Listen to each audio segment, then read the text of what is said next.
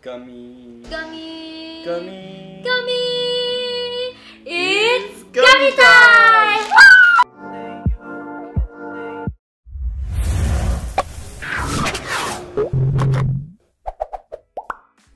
Hi, if you're new to this channel, we make 2 minutes or less videos about food, movies, and cool places. Today we bought four different gummies and these are the gummies that you could find in your nearest Japanese grocery store.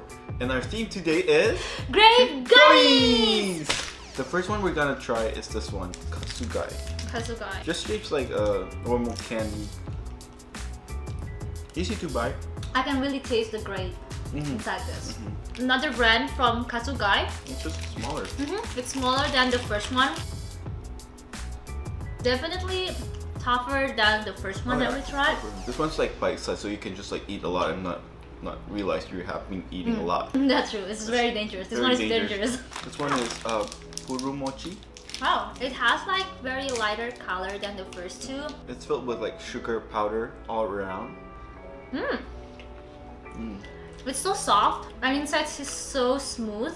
A little bit sour, but you can taste that's like from the grape taste. And the last one, we're gonna try this. Pureral, chewy outside and jelly inside. In the middle, I think it, this is the jelly.